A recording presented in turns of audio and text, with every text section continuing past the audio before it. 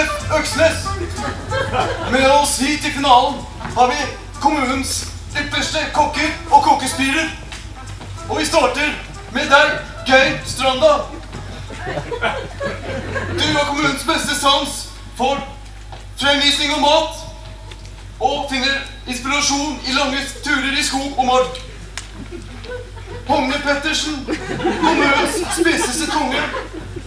Med sans, med sans for kåkeuttrykk og lokale uttrykk. Øksnesavisas Hjalmar Martinussen. Som liker å skrive om sine egne middagsretter. Og sist, men ikke minst, Ringo the Star from Germany. Som en årrekke har vist frem fantastiske retter i Nyksund. I finalen skal deltakerne testes til det ytterste. Og de skal få bryne seg på en av kommunens aller største retter, nemlig fiskekake i brun saus. Dere har tre minutter på dere fra nå. Det er jo altfor kort tid til å få kokt poteten. Vi, vi får jo noe hjelp. Geir, vanlige mennesker er nødt til å forholde seg til tid.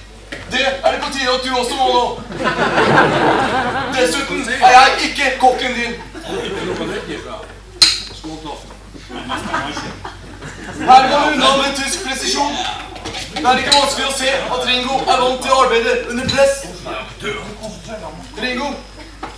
Ringo. Her er det vanskelig å komme igjennom. Konsentrasjon er vel og bra, men like viktig er kanskje kommunikasjon. Ringo, har du problemer med å lage mat mens du snakker? Eller omvendt? Nei, jeg lager mat. Ikke noe annet. Ut som at Hogni nok en gang har pratet seg bort ifra det han egentlig skulle.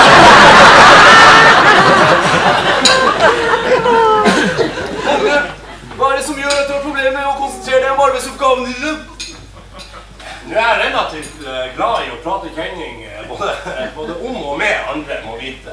Og nå når jeg fikk han Hjalmar Hamsun her på, på hånd, så måtte jeg høre om siste minutt fra Sør-Skidskåltofta. Skriv er halve tida gått. Geir, nå må du fokusere på matlagingen og ikke drive og ta så mye bilder. Jeg har dessverre drømt, glemt mobilen hjemme hvis ikke hadde ligget minst ti bilder på Facebook allerede. Ja, det er riktig. Presentasjon er viktig, men like viktig er smak og konsistens. Geir, hvordan har du det egentlig på innsiden? Jo, eh, egentlig så skulle jeg bare ønske at alle sammen kunne la meg være i fred. Så kunne jeg kose meg med delikatesser og lange turer og sigarer og jacuzzi. Så ligge og spy ut bilder av det på Facebook. Der!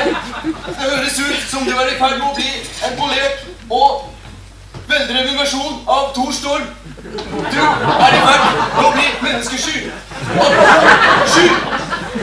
Da er det ti sekunder igjen.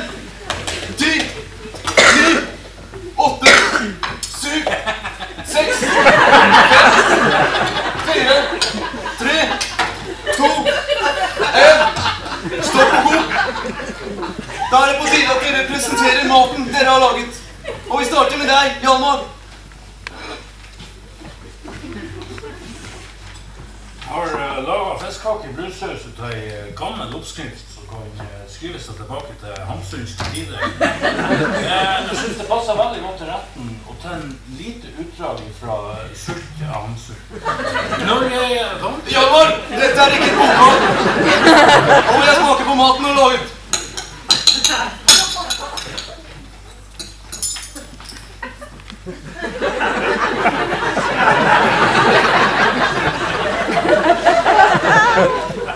Hjalmar, det du leverer er langt ifra sannheten. Sausen bærer preg på at du blander egne interesser fremfor det folk vil ha.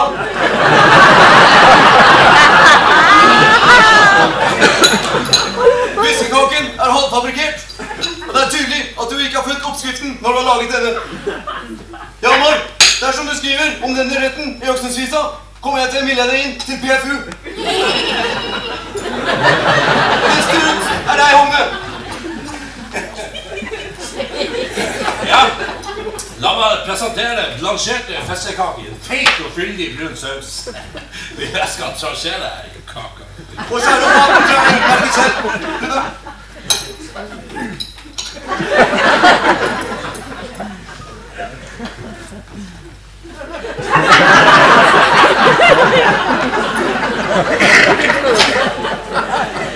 Humlen!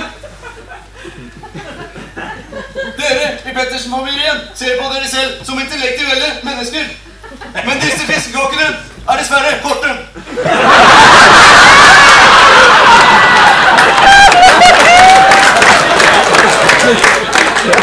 I sausen, derimot, har du hentet inntrykk fra forskjellige kanter og lager et eget uttrykk. Her er du i ditt ess. Men fiskekakene lar seg dessverre ikke redde av fancy kokkeuttrykk, da det ser ut som de lider av høydesyke. Neste ut er jeg.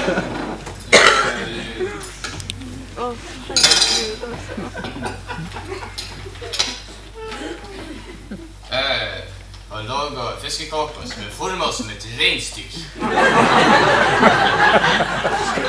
På ei, på ei eng av potetmos. Dammen som reinsdyret står og drikker av, det er sausen, som er laga som en sorbé. Og blomstene på enga, det er tyttebær som er skåret opp i fire. Og dessuten så har jeg laga meg et anretningsbord som er spesielt godt egnet til å ta bilde av det. Så det skal bare være å legge det rett ut på Facebook. Geir, maten ser som vanlig fortreffelig ut. Men det store spørsmålet er hvordan smaker det?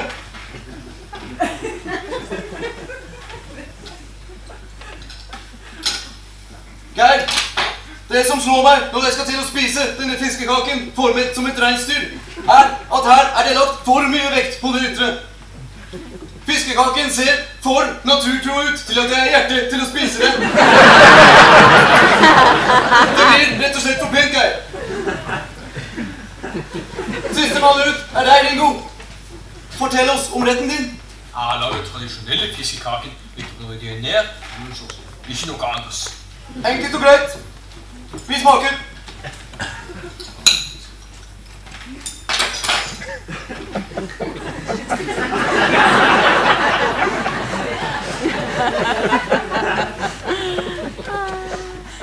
Ringo, du har forstått hva kokkelering handler om. Det er når du skal forholde deg til tradisjon, og når du skal dra på litt. Og ikke drive og ta en Anders i tid og utide.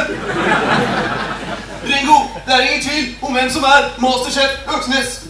Nå må dere gutter fikse opp her, for dette er ikke Hellstrøm. Briller opp.